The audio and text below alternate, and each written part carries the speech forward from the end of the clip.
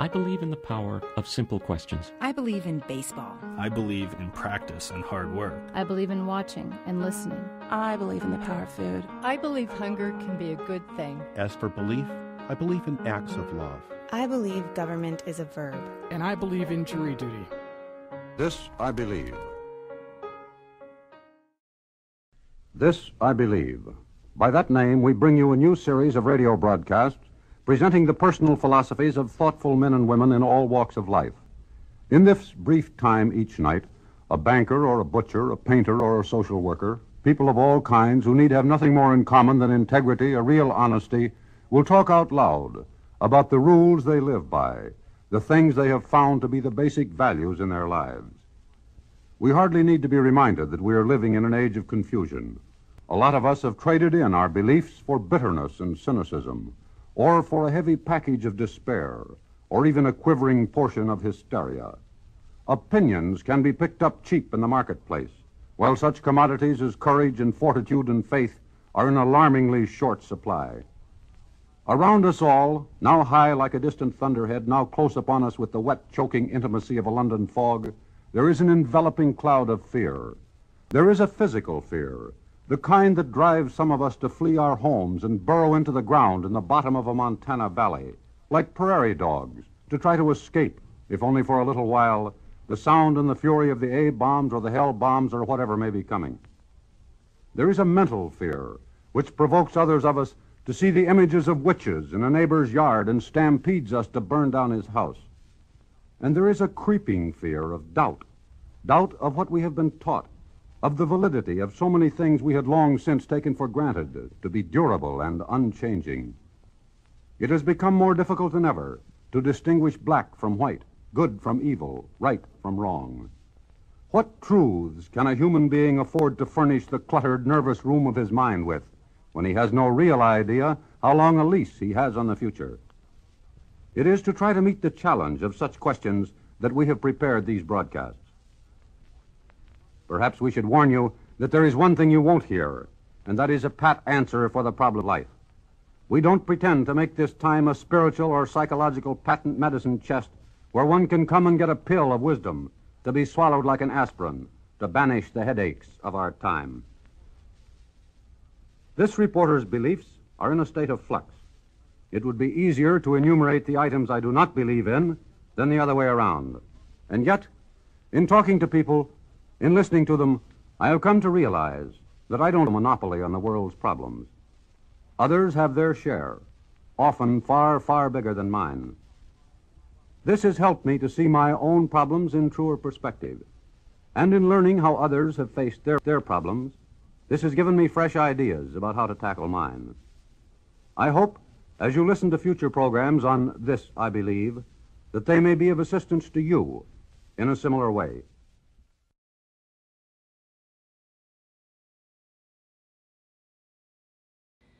When you look at a group of 14 year olds, would you ever imagine they were drunk, stoned, high? It was the 31st of October, 2010, my final Halloween as a middle school student. I had been protesting my mom's rule all week. Nothing was going to change. I was to be in my house by 10, not a second later. When I walked into my house for the night at 8:50 p.m., my mom had a very perplexed look on her face. I proceeded to tell her about one girl who was carrying around three beers, the boy who had a pound of pot in his backpack, and the numerous people who kissed someone just because they wanted the attention. I am proud that I left immediately, that I was strong and sure of who I was. If I wasn't cool because I left my friends at 8:30, I can accept that. I believe in being cool by my own terms. Millions of kids are bullied for being different or out of the norm every year. Many students feel out of place because they are different.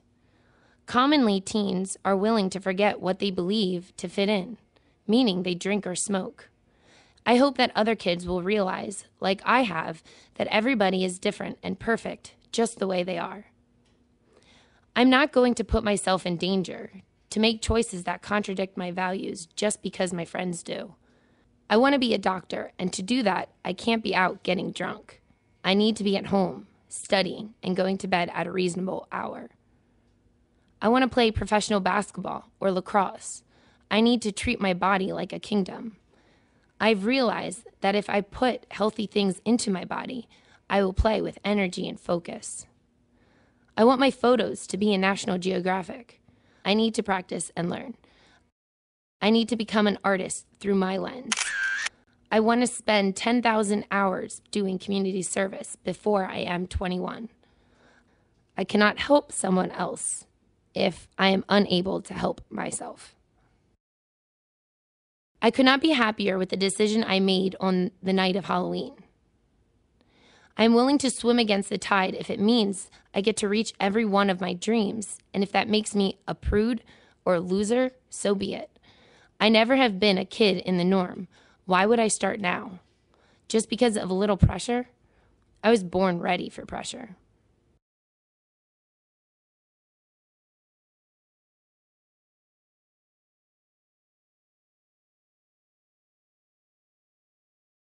I believe essays are usually limited to just one topic, one big idea. I believe essays are usually less than a thousand words and take about five minutes to read.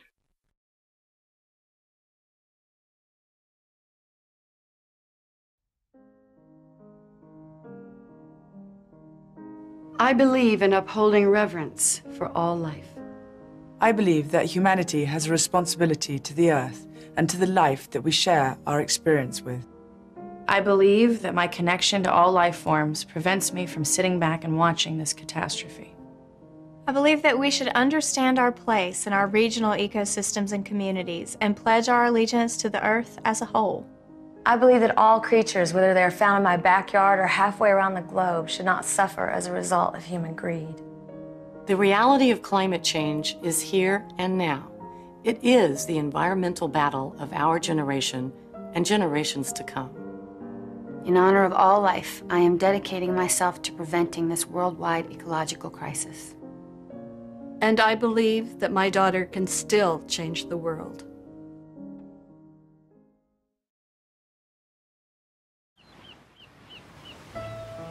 From this distant vantage point, the Earth might not seem of any particular interest. But for us, it's different. Consider again that dot. That's here. That's home. That's us. On it, everyone you love, everyone you know, everyone you ever heard of, every human being who ever was, lived out their lives. The aggregate of our joy and suffering, thousands of confident religions, ideologies, and economic doctrines, every hunter and forager, every hero and coward, every creator and destroyer of civilization, every king and peasant, every young couple in love, every mother and father, hopeful child, inventor and explorer, every teacher of morals, every corrupt politician, every superstar, every supreme leader, every saint and sinner in the history of our species lived there on the mote of dust suspended in a sunbeam. The Earth is a very small stage in a vast cosmic arena. Think of the rivers of blood spilled by all those generals and emperors, so that in glory and triumph they could become the momentary masters of a fraction of a dot. Think of the endless cruelties visited by the inhabitants of one corner of this pixel on the scarcely distinguishable inhabitants of some other corner. How frequent their misunderstandings, how eager they are to kill one another, how fervent their hatreds. Our posturings, our imagined self-importance, the delusion that we have some privileged position in the universe, are challenged by this point of pale light. Our planet is a lonely speck in the great enveloping cosmic dark. In our obscurity, In all this vastness, there is no hint that help will come from elsewhere to save us from ourselves. The Earth is the only world known so far to harbor life. There is nowhere else, at least in the near future, to which our species could migrate. Visit? Yes. Settle? Not yet. Like it or not, for the moment, the Earth is where we make our stand. It has been said that astronomy is a humbling and character-building experience. There is perhaps no better demonstration of the folly of human conceits than this distant image of our tiny world. To me, it underscores our responsibility to deal more kindly with one another and to preserve and cherish the pale blue dot, the only home we've ever known.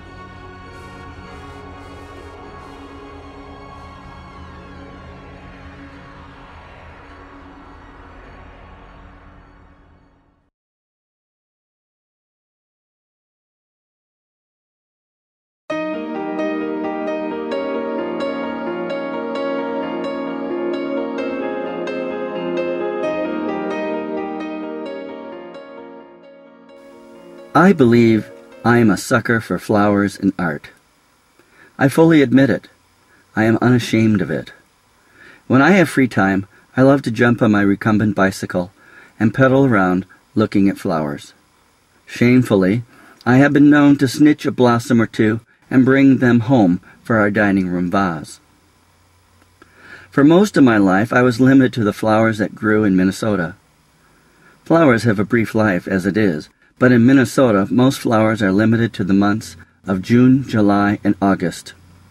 At least that is true in Ely, Minnesota, which is where I spent most of my time raising a family. In the big city of Minneapolis, they can boast having flowers for about another month. My favorite flowers were the wildflowers. I relish the intensity of the Indian paintbrush flowers and the innocence of a field of wild daisies. The highlights of the summer for me were the wild lupins. One of the surprises when I moved to South Carolina was my flower addiction would become a year-round habit. So surprised was I at the March explosion of flowers that I made a video on YouTube showing the dozens and dozens of flowers that burst out while poor Minnesota has frozen soil four feet thick. The royalty of Carolina spring flowers are the azaleas. In Bennettsville, where we lived for the first year, the azaleas were breathtaking. Reds, pinks, whites, of all shades, were in every yard. Azaleas only last about three weeks, and then just as quickly they die and disappear. Magically, a whole new variety of flowers springs up in April in South Carolina, and the feast continues right on through summer. Probably the queen of flowers for South Carolina is that magnolia blossom. It is a huge white flower that literally spreads its scent everywhere. Perhaps the most surprising discovery for me was a place called Brookgreen Gardens.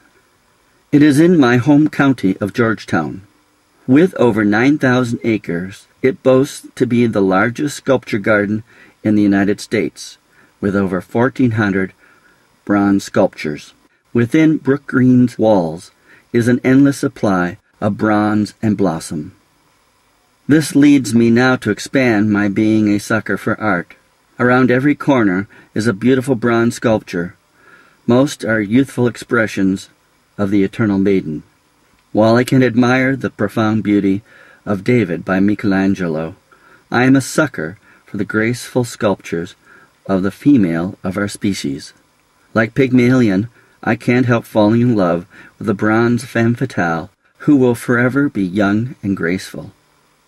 As I have probably less than thirty years to live, and my youth has long since faded, I can appreciate the gift of youth, strength, and beauty that is showered on the young. How the flowers must envy those bronze immortals who will see countless generations of flowers come and go. At Brook Green, I can contemplate my youthful past and rejoice in the wonders of life. Here on this special planet where, from what we can tell, is the only fortress of life where flowers bloom all year round and, for a lucky few human shaped forms, youth is eternal. After an afternoon of leisure enjoying both blossom and bronze, I feel renewed and ready to face my own entropy. What doesn't kill you only makes you stronger. As cliche as this quote may sound, it is what I have adapted my way of life to. Since a young age, my mother has repeated this quote to me in times of need and despair, as well as times where I probably didn't want to hear it so much. A lost game, diminished friendships, and my first heartbreak are moments throughout my youth where this quote has helped to heal the wounds that seem to hurt so deeply. I believe we are all born into this world as innocent souls. It is up to our parents to choose the path that we take. However, from the moment we take our first breath, the world and all of its problems soon become our own.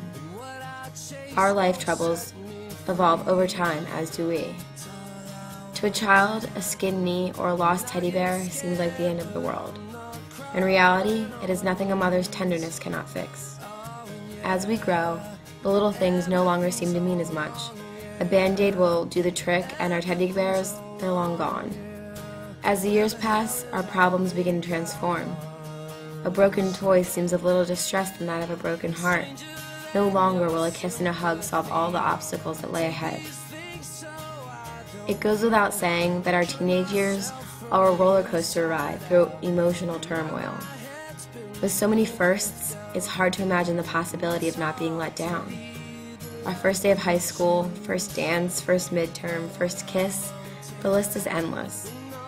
I like to look at my past four years in high school as a growing experience. I walked into these halls a girl, not knowing what I wanted in this world. Now, just a week from graduating, I feel as though I'm leaving a woman. I know what it is I strive for in life. As many hardships as I've had to face to get to this point, I wouldn't have had it any other way. Having to let go of love was one of the most difficult experiences I've had to deal with. At 18, it's hard to imagine a soul knowing what true love is, but I know from the bottom of my heart and pit of my stomach that I was in love. I'd never felt so alive, and as amazing as being in love was, having to let go was unfathomable. It took me a long time to realize, but falling in and out of love was one of the greatest obstacles I've had to overcome. I hope one day I find love again, even if that means I'm taking the risk of all the hardships that come along with that blessing of love. Having to let go, growing up with a broken family, and deaths of loved ones have instilled traits within me that I will forever be grateful for. Each obstacle that I've had to overcome has left a lasting impression on who I am. These hardships are what have helped me to become a stronger, more independent person. As I soon set out on this next path of life, I look forward to what it has in store for me. I expect the worst and hope for the best. And when I find myself in times of doubt, I'll step back for a minute and think to myself, what doesn't kill you only makes you stronger.